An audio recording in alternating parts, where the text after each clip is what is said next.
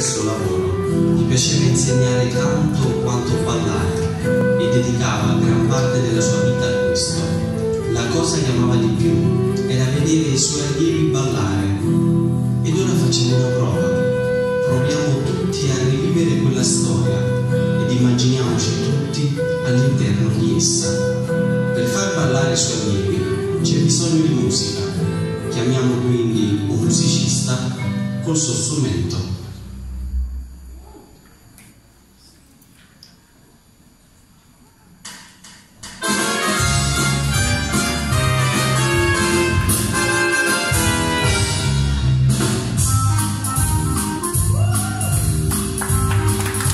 Ora ci servono i ballerini e quindi chiamiamo Giancarlo ed Erika, Eufebio ed Emma, Daniel e Marica, Giovanni ed Anna.